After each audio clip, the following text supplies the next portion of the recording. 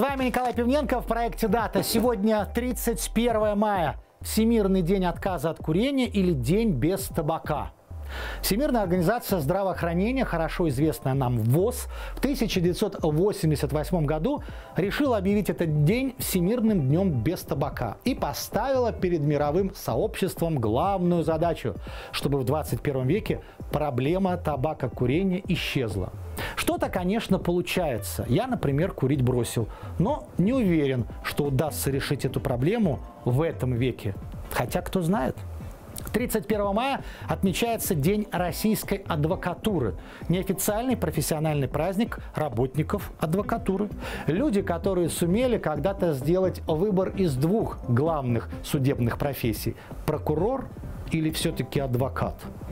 День блондинок отмечается 31 мая. Согласно официальной версии, инициаторами праздника выступили американские блондинки-адвокатессы, которых коллеги-мужчины не воспринимали как равных, и они решили бороться за свои права путем основания праздника в свою честь.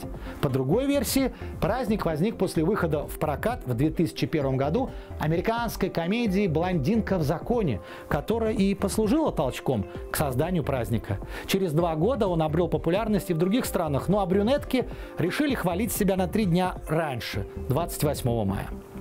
О родившихся в этот день 31 мая 1557 год. В Москве появляется на свет Федор Иоаннович, последний русский царь из династии Рюрикович. Третий сын Ивана Грозного и его первой жены Анастасии Романовны Захарины Юрьевой. Федор был полной противоположностью отцу, по натуре незалоблив, постоянно улыбался и был фанатически набожен. Одни современники считали его слабоумным, другие просто глупым. В 1584 году, после смерти Грозного, Федор унаследовал престол. К управлению страной новый царь был совершенно не способен, по мнению многих историков, и государеву ношу якобы и решил завалить на себя Борис Годунов, брат царской супруги Ирины. 1930 год. В этом году появляется на свет выдающийся американский актер и режиссер Клинт Иствуд. «Непрощенный», «Мосты округа Мэдисон», «Идеальный мир». Фильмы, поставленные Иствудом, можно перечислять долго. еще длиннее будет список сыгранных им ролей – в 1933 году в городе Пермь рождается заслуженный артист России Георгий Бурков. Запомнился он зрителям по многим фильмам, лишь некоторые. «Зигзаг удачи», «Печки-лавочки», «Калина красная», «Ирония судьбы». У актера практически не было главных ролей. Ну, может быть, в финале. А так, второстепенные, но тем не менее яркие и самобытные персонажи. Они навсегда запомнились и полюбились публике. А коронные реплики – «Я никогда не пьянею» или «Я за машину родину продал». Давно живут эти фразы своей отдельной жизнью.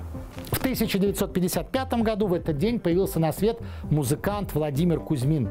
Самостоятельно освоив гитару, он, еще учась в шестом классе, решил организовать первую группу. А два года спустя на школьных вечерах уже вовсю исполнял Битлз и Роллинг Стоунс. Выпустил более 20 альбомов, написал более 200 песен, многие из которых были им исполнены вместе с музыкантами группы «Динамик». Сегодня день рождения Наташи Порывай. Она появилась на свет в 1973 году. Когда девочка повзрослела и стала петь, миру явилась певица Наташа Королева. События дня. 1859 год. Начинают отсчет времени главные часы Лондона и Англии Биг Бен, сконструированные Эдмундом Бекетом. Строго говоря, Биг Бен – это не часы на здании английского парламента в Вестминстере и не башня, а один из пяти колоколов так называемой Большой часовой башни весом в 13 тонн. Существует две версии происхождения названия Биг Бен. Это либо имя председателя парламентской комиссии Бенджамина Холла, который в то время управлял строительством, либо имя знаменитого боксера Бенджамина Каунта – Бой Биг Бена считается символом Великобритании. Его можно услышать как сигнал точного времени в радиосети. В 1864 году в Петербурге на Мытнинской площади совершен обряд гражданской казни Николая Чернышевского. За написание резкой прокламации по случаю освобождения крестьян его осудили к семи годам каторжных работ и вечному поселению в Сибирь. Над головой Чернышевского сломали шпагу, и на следующий день он был отправлен в Сибирь. В 1883 получает разрешение на жительство в Астрахани, а потом возвращается в родной Саратов. 1868 год. В окрестностях Парижа в парке Сен-Клод проходит первая велогонка. Длина трассы 1200 метров. Победителем становится англичанин Джеймс Мур. А уже через год пройдет первая гонка между городами Руан и Париж. Ее протяженность 133,5 километра, в которой победит все тот же Мур. Спортивный велосипед тогда весил 73 килограмма. 1879 год. В Берлине открывается первая в мире электрическая железная дорога и продемонстрирован первый электропоезд, сконструированный Вернером фон Сименсом. Небольшой электродвигатель мощностью в 3 лошадиные силы позволяет провести по специально проложенному полукилометровому пути до 30 пассажиров. Скорость 6,5 км в час. Электричество подавалось по третьему дополнительному рельсу. В 1979-м достигла Северного полюса первая в истории лыжная экспедиция. Ее организатор – газета «Комсомольская правда». Руководитель экспедиции – математик Дмитрий Шпаро. Семеро полярников стартуют 16 марта 79-го с острова Генриетты и за 77 суток преодолевают расстояние в полторы тысячи километров. Достижение Шпаро занесено в Книгу рекордов Гиннесса, а советское правительство наградило руководителя экспедиции орденом Ленина. 2003 год. Франция закрывает одну из самых ярких страниц своих технических достижений 20 века. Париж провожает «Конкорд», который совершает последний полет. Данная модель больше летать не будет. В этом же году в Малайзии 31 мая поставлен рекорд танца на гвоздях. 25-летняя исполнительница традиционных индийских танцев в течение 30 минут танцует на покрытии из 10 тысяч острых гвоздей.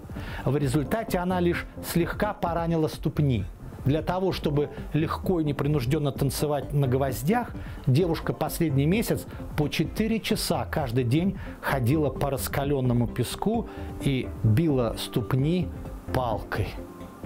И последнее. В 1804 году, в такой же день, император Александр I издает указ об организации профессиональной пожарной охраны в городе Москве. Первая команда сформирована из отставных солдат к фронтовой службе непригодных. Пожарные части размещались в специальных съезжих дворах, где стояли пожарные обозы, запряженные лошадьми, и хранился инвентарь. На зданиях пожарных частей строили каланчи, с которых велось круглосуточное наблюдение – в случае замеченных пожаров часовые давали сигнал колоколом, вывешивали флаг, шар или фонарь. На готовность обоза к выезду отводилось всего две с половиной минуты. Первый автомобиль на вооружении московских пожарных появился лишь в 1908 году.